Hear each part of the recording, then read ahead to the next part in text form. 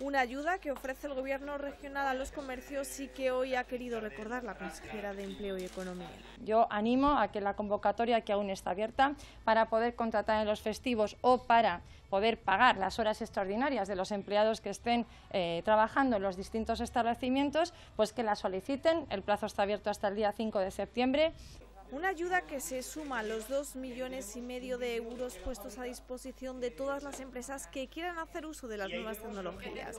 Es el caso de la empresa que ha visitado hoy la consejera, una conocida firma de moda que ha solicitado esta ayuda y que no ha sido la única más de 674 solicitudes de empresarios que desde luego van a hacer esa apuesta tan importante que el gobierno de la presidenta Cospedal entiende que es fundamental en estos momentos. Unos momentos que no están siendo los mejores para el sector textil que ve, como muchos otros, una salida en la exportación.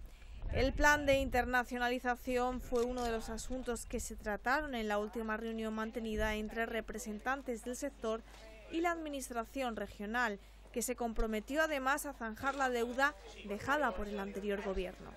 Pagar es lo más importante, no solamente esos 3.000 millones que ya pusimos en marcha en el primer mecanismo de pago a proveedores, sino los 263 que todavía también está abierto el plazo de adhesión. Apoyo de la Junta al sector textil que quiere materializarse en uno de los siete centros de excelencia con los que contará la En concreto con el dedicado al diseño que se ubicará en Talavera de la Reina.